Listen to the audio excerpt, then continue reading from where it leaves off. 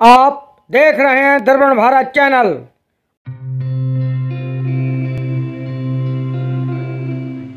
गुजरात के डांग ज़िले का प्राकृतिक सौंदर्य तब और बढ़ जाता है जब यहाँ मॉनसून का सीज़न आता है। इस सीज़न में यहाँ की प्राकृतिक सुंदरता अपने चरम पर होती है। जब यहाँ के झरने पूरी शान से बहने लगते हैं और चारों तरफ़ हरियाली छाई रहती है। देश भर से यहाँ आने वाले पर्यटक अपने शहर की भागदौड़ से दूर शांति और प्रकृति की गोद में सुकून के पल बिताने आते हैं।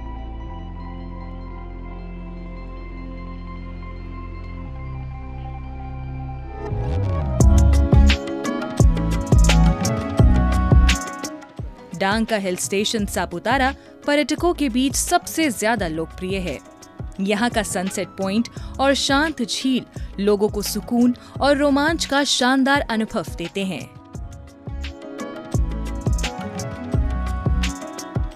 यहाँ पर्यटक बोटिंग ट्रैकिंग और कैंपिंग जैसी कई आउटडोर एक्टिविटीज़ का मज़ा ले सकते हैं। डांग का वाघाई बोटानिकल गार्डन भी आकर्षण का केंद्र है। जहाँ अलग अलग तरह के पेड़ और पौधों की विविधता देखने को मिलती है। लोग यहाँ सैर करते हुए ताजी हवा और प्रकृति की सुंदरता का आनंद लेते हैं। डांग की खूबसूरती सिर्फ़ प्रकृति तक सीमित नहीं है। यहाँ के आदिवासी समुदायों की समृद्ध सांस्कृतिक धरोहर भी इस जगह को खास बनाती है। यहाँ पर्यटकों को अनोखी परंपराओं और रीति रिवाजों से जुड़ने का मौका मिलता है।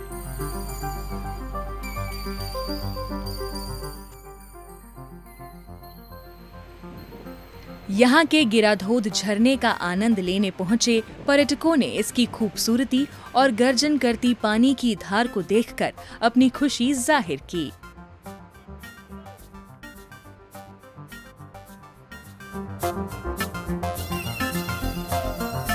आप मेरे और मेरे परिवार के चेहरे से बता सकते हैं कि कैसा लग रहा है। फिर भी मैं बताना चाहूँगा कि ज़्यादा नहीं तो सिर्फ़ एक बार तो यहाँ पे आना ही चाहिए। और अगर आपके पास टाइम है तो दो बार आइए, तीन बार आइए।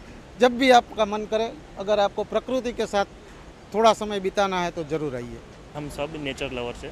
हम, हमको सबको नेचर नेचर प्लेस पे जाने का बहुत बढ़िया शौक रहता है। वैसे सासन गिर भी पूरा नेचुरल ही है, लेकिन यहाँ की ब्यूटी उससे कहीं ज़्यादा है क्योंकि ये हिल स्टेशन है वन ऑफ़ द और सेकंड रीज़न यहाँ पे है, यहाँ की जो हाइट की वजह से जो इसको एलिवेशन मिलता है, इसके जो ठंडी हवाई का जो फील होता है एक्सपीरियंस होता है, वो एकदम बढ़िया रहता है। तो यहाँ सब तरह के रिफ्रेशमेंट ज़्यादा मिलता है।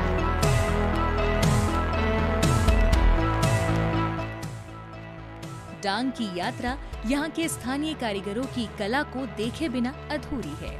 यहाँ के बाँस उत्पाद, जिन्हें कुशल हाथों से बुनकर बनाया जाता है, इस क्षेत्र की समृद्ध सांस्कृतिक धरोहर का प्रमाण है। यहाँ की आदिवासी जनजातियाँ मुख्य रूप से बाँस के उत्पाद बनाकर और जैविक खेती से अपनी आजीविका चलाती हैं। साथ ही पर्यटन से इन्हें एक अच्छा रोज़गार भी मिल जाता है। वो बाम्बू की चीज़ ही बहुत डिमांड करते हैं।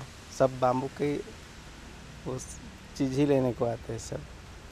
लकड़े की वस्तु बाम्बू की सब है वही सब पसंद करते हैं वो लोग। यही सब काम धंधा सब ये बाम्बू लाते हैं, यही सब बना बना के काम धंधा वो सब घर पे बना बना के सब बेचते हैं। यही रोज़गार उसके चल रहे हैं। मॉनसून में डांग की प्राकृतिक सुंदरता, सांस्कृतिक धरोहर और इको टूरिज़्म का एक अनोखा संगम देखने को मिलता है।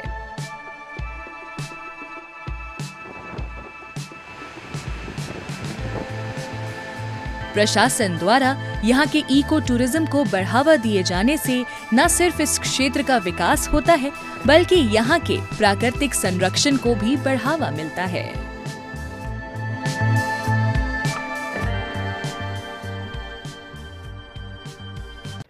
दर्शकों से अनुरोध है कि दर्पण भारत चैनल को सब्सक्राइब करें, लाइक करें, शेयर करें और लोगों तक पहुंचाएँ। धन्यवाद।